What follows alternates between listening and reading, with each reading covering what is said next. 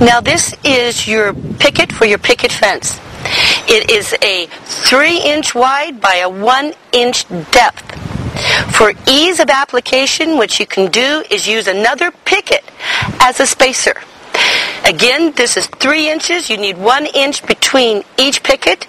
Take your next picket, put it flush with your picket that's already installed on your fence. Take your to be installed picket, put it flush to that picket that we're using as a spacer.